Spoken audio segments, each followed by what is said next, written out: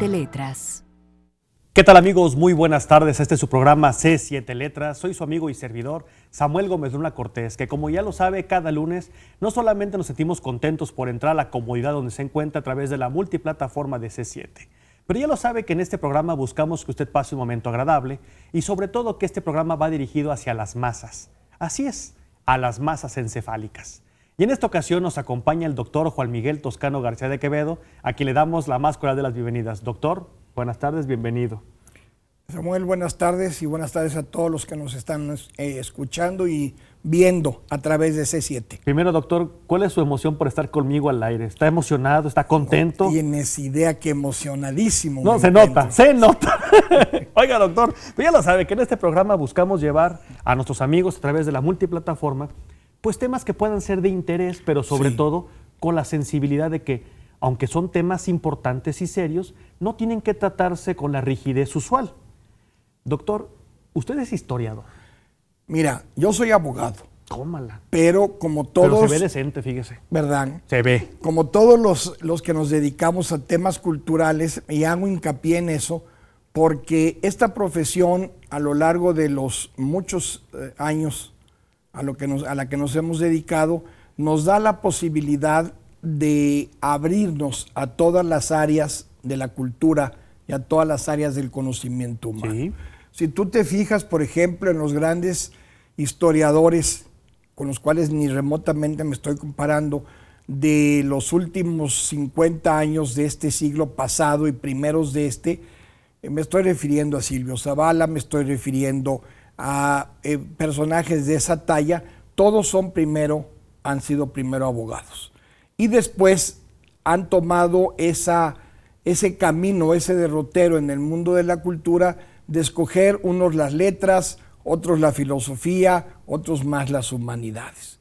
Eh, concretamente en el caso de las humanidades me refiero a la historia, que es a lo que yo me he dedicado en los últimos 40 eh, años de mi existencia como, como una persona que busca el saber un poco más al servicio de todos los demás en el campo de las, de las humanidades. Y efectivamente me he dedicado a estudiar fundamentalmente la historia de nuestro país, de nuestro estado y más concretamente de nuestra ciudad o nuestra zona metropolitana. A ver, doctor, ¿Para qué sirve la historia? Mira, definitivamente, como decía alguno de los clásicos griegos, que creo que se llamaba Herodoto, la historia es precisamente la maestra de la vida.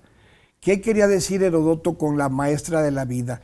Nosotros necesitamos, como seres humanos, tener un punto de referencia a nuestras actuaciones. Y ese punto de referencia a cómo vamos a comportarnos ante X o Y circunstancia, nos debe llevar a asumir la decisión final reflexionando en lo que ya ha sucedido. Dicen por ahí que no hay nada nuevo bajo el sol y efectivamente todos los acontecimientos que se dan tienen un referente anterior. Y ese referente anterior precisamente es lo que te enseña la historia. Si tú te vas a, la, a las más antiguas de las eh, circunstancias de la humanidad, quieres irte a la época del mundo eh, eh, protohistórico, es decir, cuando empieza la historia como una ciencia de vida, vas a ver que son las mismas circunstancias. ¿La historia es una ciencia, doctor? La historia es una ciencia, efectivamente. ¿Tiene método? Tiene método, tiene sistema, tiene reglas, tiene normas, como deben tenerla todas, absolutamente todas las, eh, eh, las áreas del conocimiento humano, llámese científico o llámese humanístico, tienen que estar regidas por normas.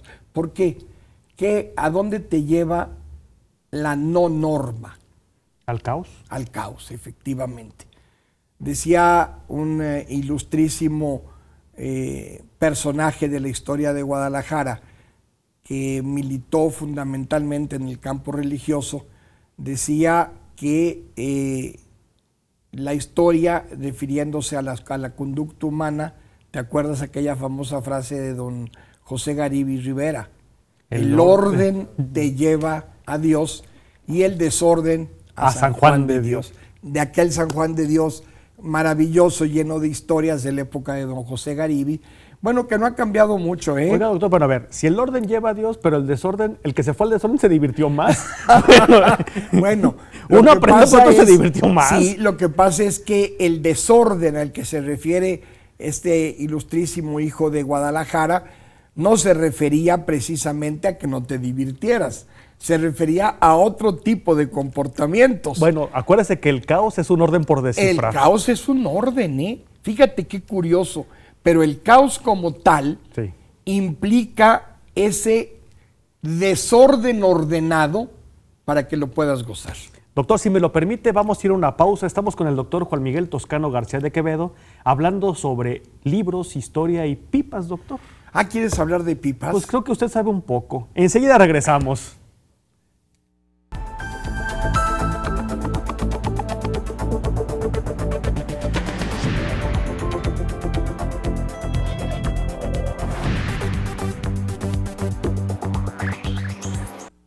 Continuamos en este su programa C7 Letras. Está con nosotros el doctor Juan Miguel Toscano García de Quevedo.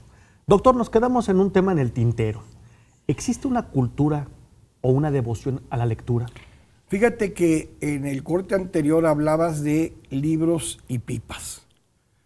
Y yo creo que primero vamos hablando de libros, o sea, el orden nuevamente, libros y pipas. Vámonos al orden. Uno, el primero lleva mano. Una de las eh, circunstancias que como humanista, más que como historiador, como humanista me preocupa muchísimo en esta cultura nuestra o en esta sociedad de Guadalajara, es precisamente el hecho de la lectura. Es decir, yo siento que conforme nos hemos ido avanzando y adentrándonos en las nuevas tecnologías, respetabilísimas e importantes, ¿eh? fundamentales. Ya vimos la jornada electoral ganada no tanto por las campañas políticas, sino por las redes sociales. Eh, se ha ido perdiendo esa devoción por la lectura. Y esa devoción por la lectura va de la mano de la devoción por el libro si tú no llegas a tener una verdadera formación, yo diría cultural, que se te inculca primero en tu casa y se te siembra, se te riega, se, se le ayuda a crecer en la escuela, y esa, esa, me estoy refiriendo a la lectura, se va a perder con mayor frecuencia el gusto por leer. Y el gusto por leer no, no me voy a referir, Samuel, a los libros impresos, a la actitud y a la actividad de leer. La actitud es parte fundamental de la actividad de leer. Leía yo el fin de semana un libro de un eh, famoso escritor francés, el famoso Daniel Robs, que tiene una gama muy grande de libros de diferentes temas y eh, yo me hacía esa pregunta mientras el sábado leía y releía sus páginas porque no es un autor fácil de leer. Hay que irnos a lo que quiere decir a través de las líneas y tú lees un capítulo y tienes que volverlo a leer inmediatamente para poder pasar al siguiente. Y en esa, en esa condición, en ese aspecto, dice yo, bueno, la educación que recibí en mi casa, la misma que recibiste tú en la tuya y que se fomentó en la escuela, pues ya hace muchos años, de más de 50, más de 55 años, me lleva a que yo paladie y guste de la lectura. Y me encuentro ahora, simplemente la semana pasada me decía una alumna, yo no quiero leer, en un curso precisamente de libros. Entonces, decía, no me gusta leer, y es cierto, y tiene razón. Es decir, las escuelas, a partir del cambio de programa académico, si yo mal no recuerdo, es allá por 1970, creo, si, si no, si creo, no, no quiero equivocarme, desapareció de la carga académica de las escuelas de educación media básica o primaria y media esa lectura que se llamaba lectura de comprensión, lectura en voz alta, lectura de eh, narración, etcétera. Todas las, gamas de materias que llevabas a lo largo de tu escuela para enseñarte a leer. Y cuando desaparece del programa académico esas materias obligatorias y posteriormente fueron desapareciendo las que complementan la formación de valores del ser humano como era la ética, la lógica y finalmente la filosofía, han llevado a que varias generaciones que posteriores a la nuestra ya no sepan, ya no gocen, no encuentren el placer de tomar un libro, de abrirlo, de olerlo, de palparlo y luego de introducirse en el libro, porque leer no es pasar las páginas, Samuel. Sí, claro. Leer es de plano tú meterte dentro del libro y ser un copartícipe de lo que escribió él o ella en ese libro. Doctor, ¿leer es un acto bondadoso? Leer es un acto, yo creo que más que de bondad, yo diría es un acto de amor. Es, es, es decir, es participar en las emociones, en las sensaciones, en las ilusiones y obviamente todas esas emociones, sensaciones e ilusiones con las que alguien escribió ese libro, pues conllevan mucho, mucho del amor personal. O sea, tú te vuelcas en ese libro cuando escribes. Tú escribes verdaderamente con pasión. Por eso cuando escucho ahora que X o Y persona van a escribir su autobiografía y al efecto contratan a equipos de claro. escritores. ¿Cómo, cómo, que contratas un equipo para de tu autobiografía? Para mi autobiografía. es decir, ¿dónde va a quedar la emoción, la sensación, el amor o el odio que yo debo transmitir en mi autobiografía hacia personas hacia momentos o hacia mí mismo, si se lo voy a dejar a un tercero. Acuérdate que ya los griegos decían, ya se han escrito demasiados libros, doctor. Fíjate, y en aquella época cuando todavía... Nos contábamos. es lo que te iba a decir, no nos contábamos, porque las personas dicen, Homero es el, que escribió primero. No, Homero era un ciego que sabía de memoria y le ponía de su cosecha los cantos protohistóricos que platicaban leyendas que después ya vimos que las tales leyendas que me estoy refiriendo, queridos amigos del auditorio, pues a la Odisea y a la Iliada, pues resultaron ciertas cuando la arqueología no las encontró. Bueno, lo que pasa, doctor, es que Homero fue el primero que dijo, le cae al que no le aumente. Acuérdese que él fue el primero. Bueno, eso es. Eh, lo dijo en griego, pues. Eso es de tu cosecha, pero sí es cierto. Sí, claro. Esa es la gracia de este hombre. Entonces, él, efectivamente, a esos cantos, pues que podrían tener a lo mejor cuatro, 500 años antes que él, pero que se, los iban transmitiendo de generación en generación, pues cada uno le ponía de su cosecha. Pues acuérdese que la memoria no solamente se encarga de perpetuar, sino de mejorar. De mejorar. Y entonces, tú te puedes imaginar tu autobiografía escrita por un señor al que contrataste. Pues no, ¿verdad? Pues lo mismo sucede con los que escribimos. Tú escribes, yo lo sé, y yo escribo y tú también lo sabes, y a lo mejor nuestros eh, amigos del auditorio, amigas y amigos del auditorio lo saben, pero cuando escribimos eh, ponemos toda nuestra emoción. Sí, sí, y esa emoción, como te decía hace un momento, lleva amor y lleva odio. Y, hablando, por ejemplo, de esos casos de amor y odio, pues tenemos el primer libro de historia que, que narra nuestra historia escrito allá en el siglo XVII, el famoso Tello, donde se habla de la, de la, en la crónica sobre la conquista, evangelización, colonización, organización y arranque de esta Guadalajara. Y no me vayas a decir que Tello, con mucho respeto para nuestro querido fraile, pues a la hora que habla de evangelización lo está haciendo lleno de amor y a la hora que habla de conquista esa conquista terrible de Saca la espada. Está haciéndolo con todo el odio hacia un personaje que llegaron pues sí, valga, valga la redundancia, que llegaron a odiar, ¿no? Bueno, acuérdese, doctor, que ya lo había dicho Homero, canta, oh diosa, la furia del país de aquí. Así es.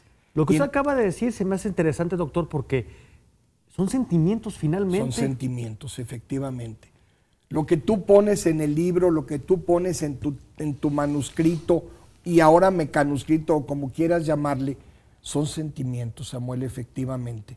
Tienes toda la razón. Y en esos sentimientos van los sentimientos de amor, de tristeza, de alegría, de desesperanza, incluso los sentimientos que tú creas que puedes tenerlos controlados y se te salen del odio. Se dice, doctor, que el que lee vive muchas vidas. Yo creo que es cierto, porque nos ponemos no solamente a viajar en el Nautilus, Sí. sino inclusive caminamos a veces en el hombro de Platón escuchando lo que decía Sócrates. Sí. ¿Existe alguna dirección para la lectura o es al garete, doctor? Ese es el problema, Samuel, yo creo. Anteriormente había una dirección que te imponía tu casa y la escuela. Un orden, claro. Había un orden, volvemos al orden. Y ese orden o esa dirección, pues, para que quede más claro, que te iban enseñando a leer paulatinamente. Primero pequeños eh, cuentecillos fábulas. muy sencillos, Calleja, las fábulas de Sopo, eh, las, peque- las eh, pequeñas eh, versificaciones sencillas que hacías en la escuela, te iba metiendo Sí. en ese camino interminable de la lectura. Y entonces conforme ibas avanzando y conforme ibas gustando, ya entonces tú ag- agarrabas tu propio sendero y en esos miles de senderos ibas encontrando la magia de la novela, de la historia, de la poesía, de la filosofía, de la, eh, de la ética, de lo que se te antojara. Entonces veías tú que aquello no tenía, no tenía límite. Tu imaginación ya no tenía límites. Y eso te hacía precisamente crecer como ser humano. Porque dices tú al principio de tu programa, que yo dije, ándale, es para las masas. Yo al principio me quedé, dije, mira, un buen marxista. Pero no, parece que no fue para las masas, fue para las masas encefálicas. Bueno, y hay un orden. Entonces ese, ese principio encefálico, que es la inteligencia, pues hay que darle un sentido de orden para que funcione. Doctor, si me lo permite, se dice que el que lee no está haciendo nada, pero se está haciendo alguien. Vamos a una pausa, si me lo permiten. Estamos con el doctor Juan Miguel Toscano García de Quevedo, hablando de libros, literatura. Y ahorita vamos a pasar a los vicios, que no crean que aquí el doctor ha hecho una labor de tutor en mí. Nada de eso. Enseguida regresamos. Continúa con nosotros.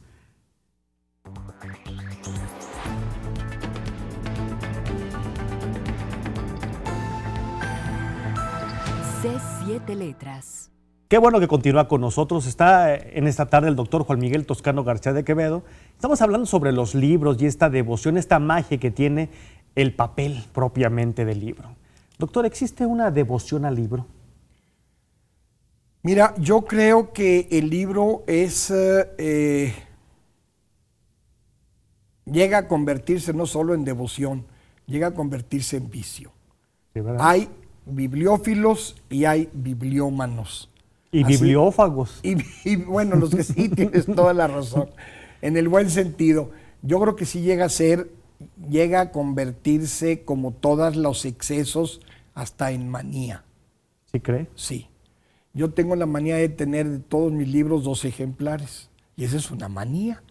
¿Por qué? Porque de muy joven aprendí cuando empezaba a formar lo que pretendía que llegara a ser mi biblioteca, que yo conseguía libros de los que me interesaban en aquella época, libros que podían llegar y se podían comprar. Ahora ya están prácticamente, eh, Son piezas de museo. son muchos. piezas de museo que me los, que Sí. los prestaba y no volvían. Sí. Entonces la biblioteca se quedaba, se quedaba trunca, porque ese libro que era parte de un entorno, de un intento de colección temática, Sí. donde el tema era lo importante, pues no volvía porque o el amigo lo había perdido o con la excusa de que se lo habían robado, y entonces me dio la manía de que aquellos libros que yo consideraba básicos para mí, los tuviera por duplicado. O sea que el interés tiene pies. Y esa, sí, claro. Y acuérdate que incluso allá en la colonia había hasta una pena de excomunión para el que se robaba los libros. Qué bonitos tiempos. Qué ¿eh? bonitos tiempos aquellos. Eso de encadenar un libro a la, a la banca de lectura para que no te lo pudieras llevar, eso era bonito. Pero bueno, eh, así te vas haciendo de vicios. Ahorita que hablabas de vicios, por cierto, como el vicio de comprar dos veces un ejemplar para tenerlo siempre en tu biblioteca, lo cual aumentaba el volumen y duplicaba la existencia, porque entonces decías, tengo 10 mil, no, pues tenía 5 mil. En realidad, pero... En realidad, bueno, no era tanto los, duplicados, pero sí llega a formar una, un maravilloso, maravilloso vicio en los libros. El placer de conseguir un libro nuevo. Yo te platico que hay libros en mi propiedad. No tengo una biblioteca muy grande ni mucho menos, pero hay libros que yo he perseguido, así literalmente, ¿eh? perseguido por más, mucho más de 25 años. Y finalmente, en circunstancias que son dignas de platicarse con un café en la mano y un puro, o mejor dicho, una pipa que es lo que a mí me gusta más. Bueno, también el puro no lo dejo de lado, ¿eh? Simplemente este sábado, mientras leía Daniel Robs, me fumé dos puros y cuatro pipas. Entonces ya te vas a imaginar cómo van. De tabaco, ¿verdad? Sí, obvio. de las otras, fíjate que las otras no me llaman la atención. ¿Todavía no? No, yo, no, no, ni todavía no, ya no me llaman la atención. En cambio, hacer una buena mezcla de varios tabacos y hacerla a mi gusto, midiendo la, fuerza de lo que voy a fumar y el olor de lo que voy a fumar, eso es muy padre. A ver, doctor, el primer referente al mundo de la pipa y de los libros es la querida creación de Sir Arthur Conan Doyle. y antes que él, tú puedes hablar de muchos, muchos escritores que no podían hacerlo. Fíjate, no podían hacerlo sin tener una pipa en la boca o un puro entre los dedos. Entonces, pues como que son hermanos. Sí, va. Son, son hermanos, o por lo menos, por lo menos primos hermanos, entre los puros y la pipa y el libro. ¿Y es un maridaje entre ellos? Sí, a mí estar, cuando estoy escribiendo, todavía de vez en cuando que escribo, pues yo tengo la disciplina de escribir, qué ridículo, ¿verdad? Disciplina de escribir todos los días. Y todos los días escribo un texto de alguna futura novela que nunca llegará, nunca llegará seguramente a ver la luz, como los textos para las conferencias, para los cursos que dicto, de todos los temas.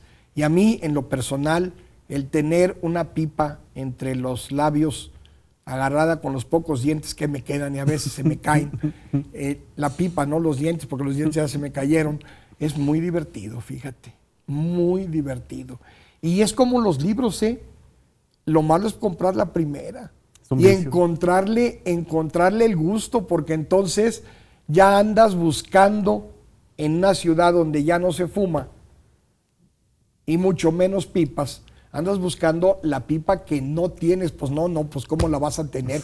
Pues es que son infinitas las pipas que existen y entonces buscas que la pipa eh, recta y que la pipa con la pequeña curvatura. Luego por ahí una película que me encanta, porque me encanta la fantasía y la imaginación del escritor Tolkien, o el famoso Tolkien que le decimos en español, Tolkien en inglés, que era un genio de las letras. la gente no lo, no se pierdan cuando lean a este hombre, no se pierdan en si que llegaron los orcos o llegaron los enanos o los hobbies, no, vean la estructura del maneja mundo, el lenguaje. Sí, sí, sí. Es maravilloso el manejo del lenguaje de este hombre, hojas eh, de árboles cayendo sobre hojas de otros árboles. Es, es fantástico.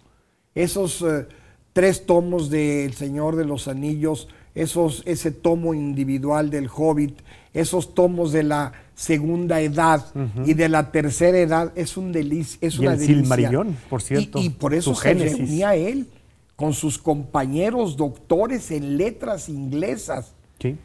eh, eh, eh, a, a platicar sobre esto y a imaginarse las cosas. Y siempre acompañados por una buena pipa. Y así son las pipas, Samuel. Tienes la primera y luego quieres la otra y luego enseñas a la primera, le dices a la primera que enseña a la segunda para que se curta, eh, sepa cómo conducirse. Es, es toda una cultura, no crees que estamos hablando de hay nomás una pipa, ¿eh? Y luego el tabaco fuerte para en la mañana, más eh, mediano para el mediodía y el oroso para en la noche. Es decir, no te fumas nada más una vez al día la pipa, ¿eh? O sea, que estamos hablando de que todo, vamos, un ceremonial. Todo un ceremonial. Y así tenemos que, Bueno, ¿y usted fu- fuma o lee? Pues, ¿qué hace? fíjate que, O trabaja. y hasta tomo. Válgame. Ahí tengo el tequila precisamente junto a mí cuando estoy escribiendo. Todo, como decías al- al- en el corte anterior, todos esos vicios son parte de esa maravillosa cultura del libro. Bueno, se dice que no son vicios, sino bonitas costumbres. Claro. Vicio es cuando en lugar de echarte dos caballitos de tequila, te acercas una botella. Y como yo le decía una vez a un amigo mío, oye, pues ya tu bebida que produces, pues ya no está tan buena como antes. Ya me empieza a doler la cabeza así, me dijo, pero ya llevas dos botellas, ¿verdad? Entonces, pues sí, a lo mejor eso ya, eso y eso ya es vicio. No, no. Todos estos elementos te, te ayudan a transformarte y a transportarte a lo que quieres llegar a escribir. Fíjese, doctor, que lo que estaba diciendo recordé un personaje de Guadalajara que sin duda usted conoció, mucho mejor que yo, nada más por la edad, que tenía relación con los libros y la pipa. Don Jorge Munguía. El Pipas.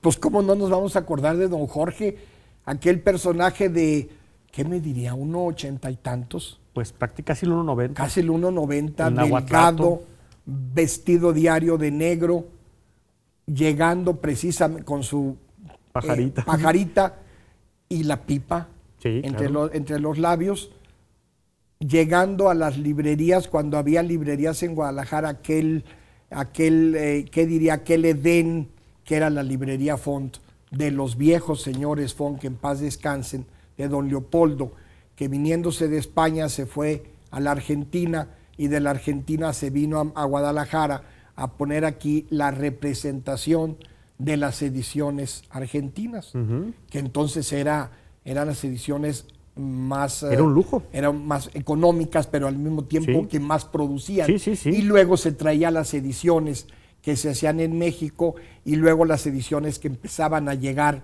de la España franquista. Y era un placer, porque ahí veías tú llegar del brazo, fíjate lo que te estoy diciendo, a don José Guadalupe Zuno Sí. con don José Garibis Rivera ¿Cómo? compañeros y grandes amigos, cuando todavía no era cardenal, era el obispo de Guadalajara, el arzobispo de Guadalajara, o veías llegar aquel portento maravilloso que era el gran predicador, eh, ¿cómo se hace? Me fue ahorita el nombre que te iba a decir, Ruiz. don, don José Ruiz Medrano. Y luego llegaban todos los intelectuales de aquella época.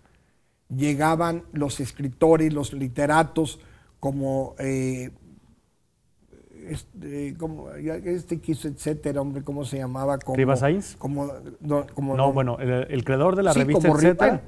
pero como Rivas Sainz, y luego llegaban eh, historiadores como José Cornejo Franco, y entonces se armaba una tertulia Don Adalberto Navarro. don Adalberto Navarro, don Adalberto Navarro Sánchez, se- de aquel descendiente de don del casado con una Hidalgo, ¿verdad? sí, Juan Hidalgo, así Con- es. Con eh, aquel que vivía en el Teatro de Gollado allá arriba con su familia y que escribió un magnífico folleto sobre el Teatro de Gollado.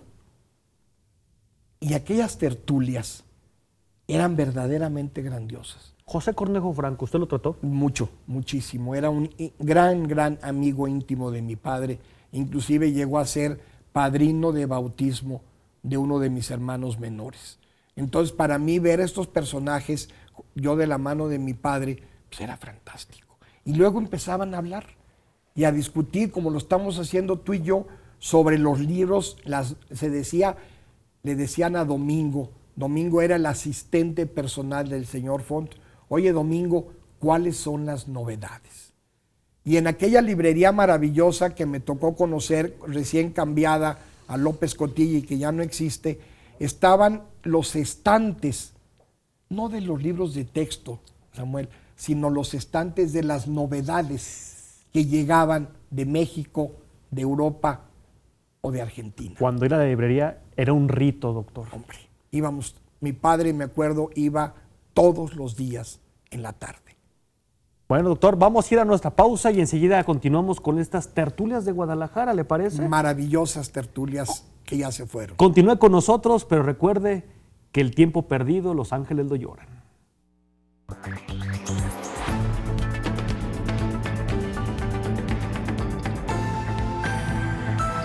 C7 Letras. Dijo el bate Alfredo Replacencia, tiempos idos que felices llamo. Y estamos hablando, doctor Toscano, sobre esta Guadalajara que más parece un mito, una leyenda, que una realidad. Y usted Fíjate- fue testigo. Fíjate que me tocó ver la parte final de esa Guadalajara que orgullosamente se le llamaba la Atenas de México. ¿Y sabes por qué, Samuel? Porque aparte de las lumbreras, valga la, la palabra y creo que es correcta, que existían aquí y que vivían aquí en Guadalajara, que eran reconocidos nacional e internacionalmente, esta- estas reuniones se engrandecían cuando llegaban personajes como don Lino Gómez Canedo que venía de fuera, o el padre Bravo Ugarte que venía o de la Ciudad de México, de Michoacán, o sea, toda esa intelectualidad que se reunían como grandes amigos, al margen de sus preferencias políticas o ideológicas, allí los veías conversando como los mejores amigos, como efectivamente lo eran. A nivel nacional, doctor, ¿quiénes llegaron a venir que usted recuerda? Mira, pues yo me acuerdo, por ejemplo, haber visto en alguna ocasión, desde luego, siendo gobernador, a don Agustín Yáñez. Y te voy a decir como, como llegado, no, mira, tengo, cierro los ojos y lo veo subiendo por la calle de Pedro Moreno, viniendo de Palacio, porque Pedro Moreno había cruzamiento con Ocampo, a la mitad, había dos librerías que ya desaparecieron.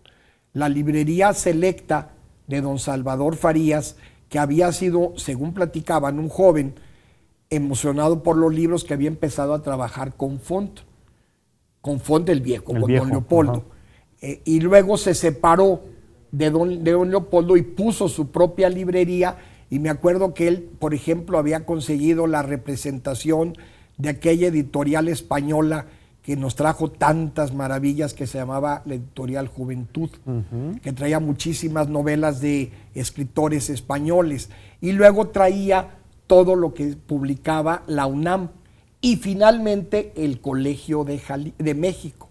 Entonces aquella colección de historia mexicana que ellos él la traía o la traía también Font.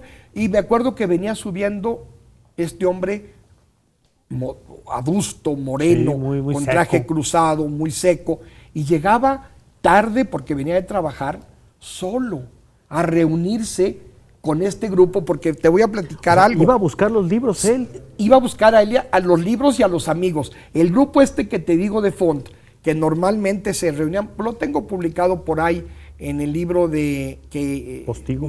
no, en el libro que me hizo favor don Paco Ayón, A- Ayón, que quiero y recuerdo con gran cariño aquel intelectual eh, jalisciense. Don Paco Ayón, siendo entonces director de la UNED, me publicó un libro en que hice en homenaje a la muerte de mi padre que se llamaba Textos. Y en ese texto yo reuní algunos textos de los muchísimos que dejó mi padre publicados y en los periódicos y en otro lugar.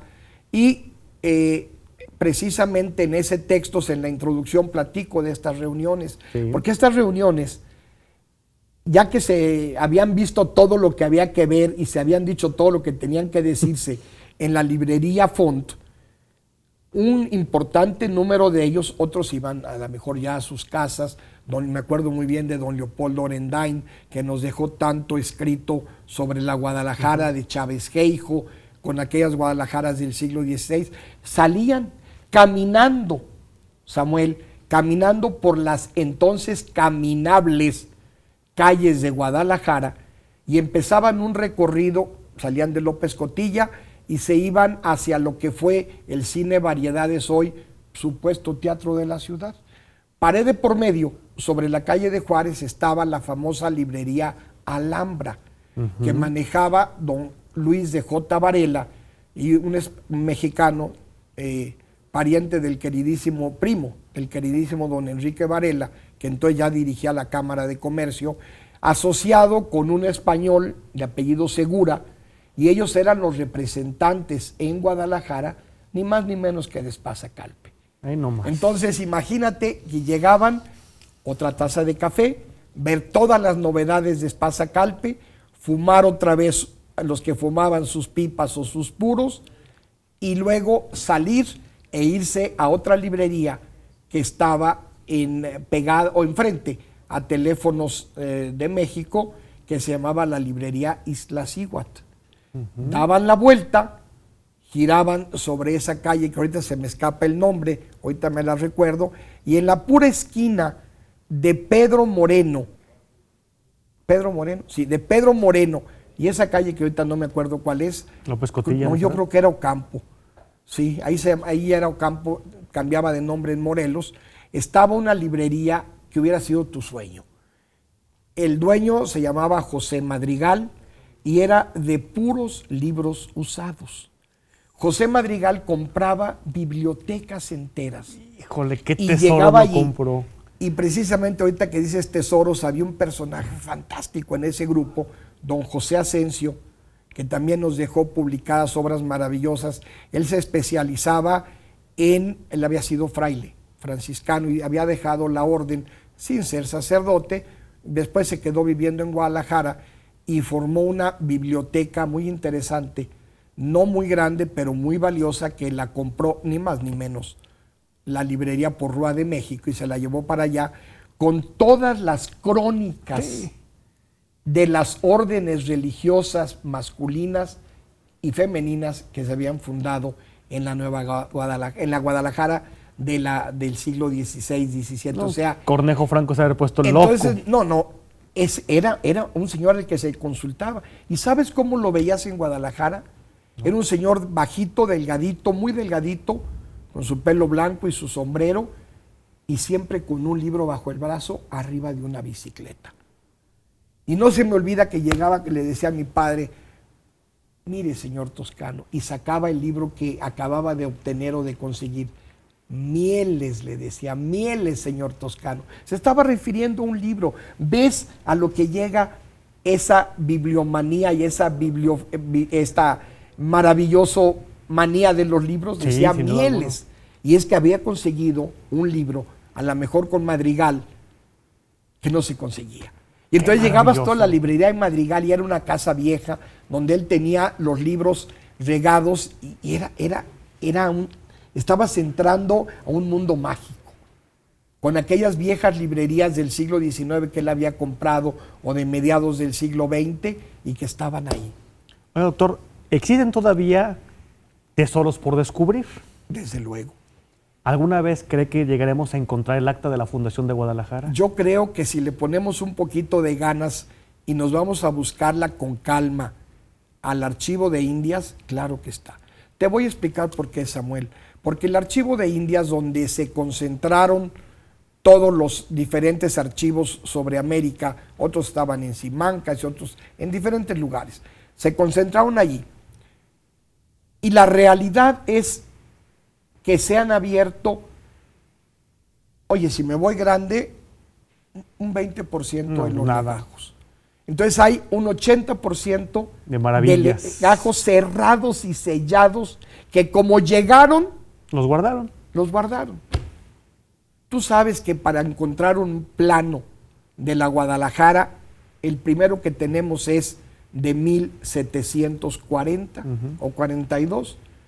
No hay un plano anterior. Claro que tiene que existir un plano anterior. Pero que sí, ¿por qué, doctor? Porque cuando llegaban con este ímpetu tenían que saber cuál era la jurisdicción que se tenía. Si Felipe II ordenó las famosas relaciones que tenían que contestar en un cuestionario que les hizo Felipe II y les mandó un cuestionario de más de, no sé, 30 preguntas. Nada más un cuestionario. Que tenían que contestar a fuerzas, porque con Felipe II no se jugaba No era de, ay, se lo mando dentro. Ahí se va. Ahí se va o se lo mando luego. No, lo contestabas y lo mandabas. Y tenemos esas maravillosas relaciones de pueblito por pueblito Claro.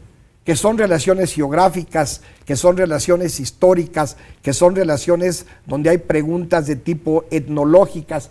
Esas maravillas. ¿Por qué no existe la de Guadalajara? Tuvo que haberse hecho a fuerzas. Sí, Tuvo que levantarse un plano para que le dijeran, mire, queremos hacer una catedral aquí. Y él iba a decir si sí o si no, porque es el que daba el permiso. ¿Dónde está toda esa documentación? Lamentablemente tú sabes que en Guadalajara el primer libro de actas de cabildo, es decir, donde está toda la historia de la ciudad, está perdido No lo hemos encontrado. no lo hemos encontrado. Tenemos a partir del segundo, pero falta, falta mucho que investigar. Nomás falta, y así lo voy a soltar así, ¿eh?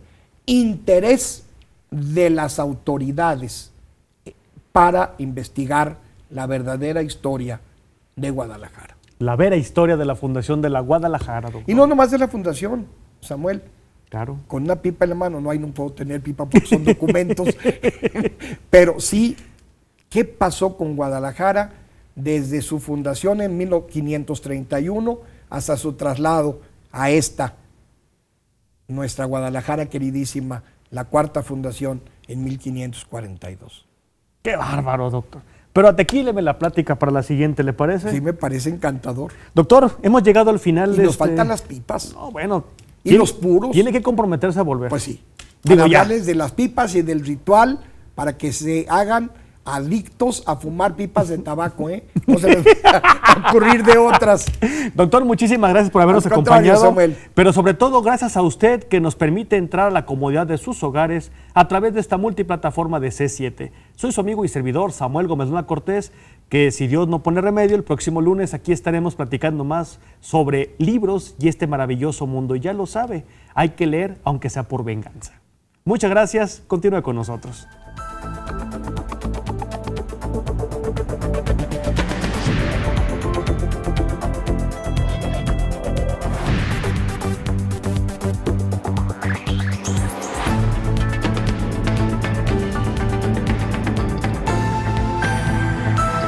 C7